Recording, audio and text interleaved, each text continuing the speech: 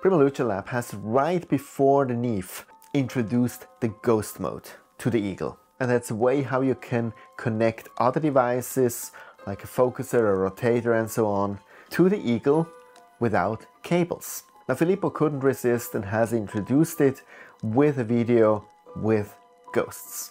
Have a short look.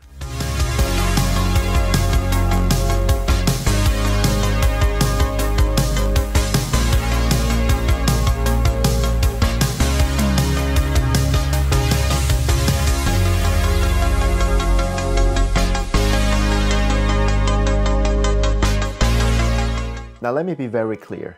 I'm outraged. This was absolutely immature and unprofessional.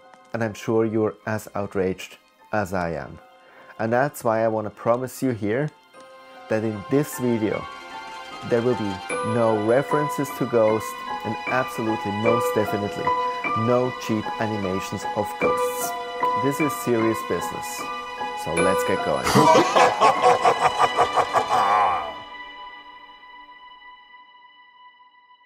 Hey, this is View into Space, I'm Sasha from Switzerland, so grüezi miteinander and thanks for watching my channel. So the ghost mode, as already said, is a way to connect devices wirelessly to the Eagle. So there's a few requirements for that. First of all, yes, you guessed it, you need an Eagle. And if you don't know what an Eagle is, that here is an Eagle. An Eagle is in principle a mini PC, like for, for example a MeLE Quieter, just a million times cooler. And it's made really for astrophotography. So it has GPS, it has Wi-Fi, you can even check the sky quality with it.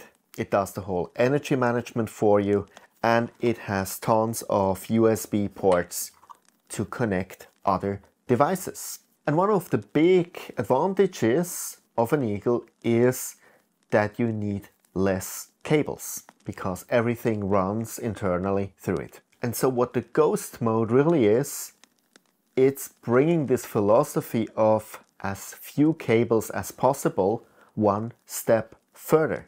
Yes, you will still have to connect your devices somehow because they need energy and as long as they don't have batteries in it, you have to connect them. But you don't need two cables anymore. One cable will fall away, the USB cable, and all that's left is the energy cable. So now, unfortunately, but also obviously, this only works with Primaluce Lab devices. And that's no ill intent, but that's simply the fact that other brands do not have these capabilities that are needed. For example, an EAF has no Wi-Fi connection. So at the present time, the Ghost mode works with the Sesto Senso 2, with the Esatto focuser, with the Arco rotator and with the automatic flat panel, which is in principle the Giotto and the Alto. So if you have an Eagle and one of these devices, you can activate the ghost mode right now.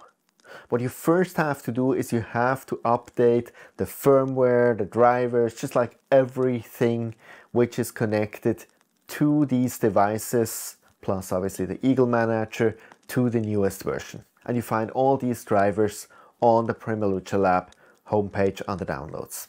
So let's connect now to the Eagle over my computer and I will show you how it looks like on the Eagle. Okay, welcome to this short video about how to activate ghost mode on the Eagle. It looks very easy, but again, there's a little bit of twist. So you see now here on the bottom left, the ghost mode. And now it tells you that set your Eagle Wi-Fi card to 2.4 gigahertz.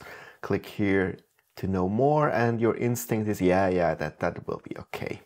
And then it tells you to connect all your PLL devices to your Eagle with USB cables. That's crucial. So we still need it with the USB cables connected. But let's go back to the number one because as always with Windows. I think I will get a beating again for stating that, but anyway. there is some administrative stuff to do. That's just how it is. So we click here because, as I always say, with Primaluce Lab. We have wonderful manuals. I really have to make a big compliment to them.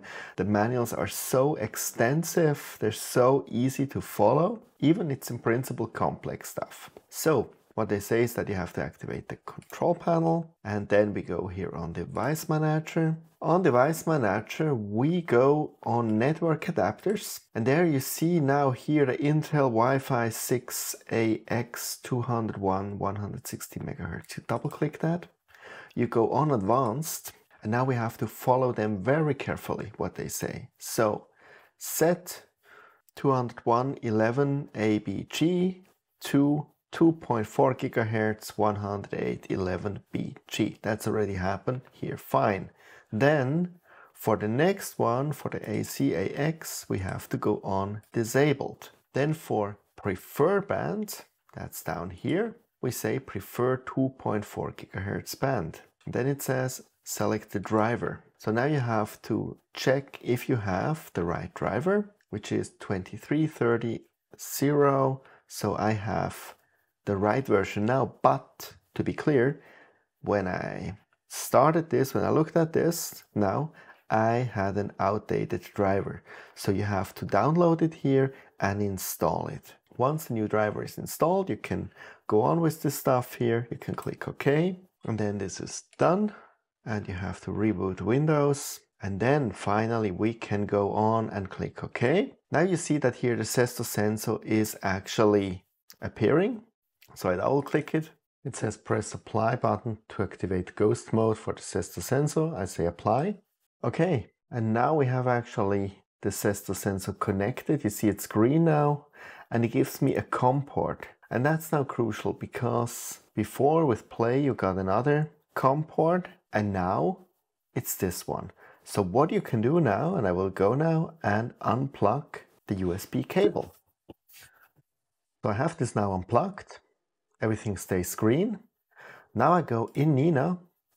Okay, in Nina we go to focuser. Take now again the PLL ASCOM focuser. I go here on settings. And now it's crucial that we go here on COM40 ghost mode.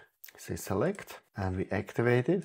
So you see success, it's activated. And let's see, when I click, I hear it focusing. So perfect, I can confirm that the ghost mode actually is working and one cable is less on my Eagle. So I hope that was interesting and if you have any questions about it, please leave it in the comments below. See you next time and clear skies.